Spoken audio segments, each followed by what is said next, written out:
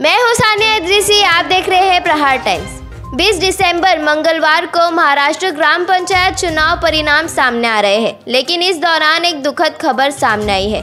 जलगांव के जामनेर तालुका में चुनाव परिणाम सामने आने के बाद दो गुटों में भयंकर भिड़त हो गई। दोनों गुटों की ओर से पत्थरबाजी की गई।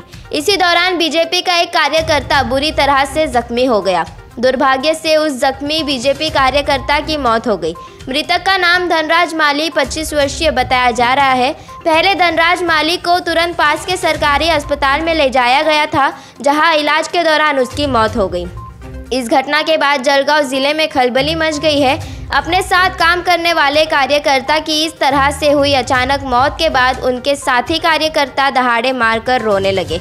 इस पूरे मामले में पुलिस ने जाँच शुरू कर दी है। दर्शन तावडा सुद्धा अधिकार नाही का आमचा गावामध्ये जायचं त्यांनी त्यांच्या गच्चीवर दगड मोठे दगड साचून ठेवले होते आणि सगळे कार्यकर्त्यांनी आमच्यावर दगड चालू केली मोठे मोठे लाठ्या आमच्यावर आक्रमण केलं कोणचं गाव होतं तुमचं? टाकळी खुर्द अच्छा तुम्ही जिंकले हो मी आम्ही निवडून आले आमचा पक्ष गावावर. सुरुवातीपासून सांगा काय झालं काय झालं? सुरुवाती गावात आले आणि भद्रमंच मंदिरावर दर्शन करायला गेले मंदिरावर दर्शन करायला गेले.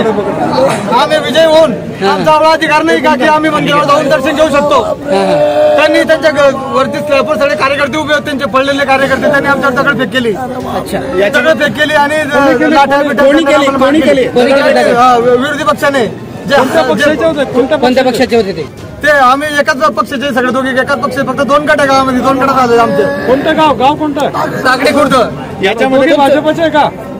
दोघे भाजप दोघे भाजपाचे गट आहे आमचे. तुमचं पॅनलचं नाव काय होतं पॅनल परिवर्तन पॅनल त्यांचं कोणतं होतं? त्यांचं पंधरा वर्षांनी सत्तेत येते तुमचं तुमचं तुम्ही जिंकलं काय आम्ही हवंय जिंकल्या वेळेस कोणतं पॅनल जिंकले हवंय परिवर्तन पॅनल किती जिंकले तुमचे उमेदवार? सात.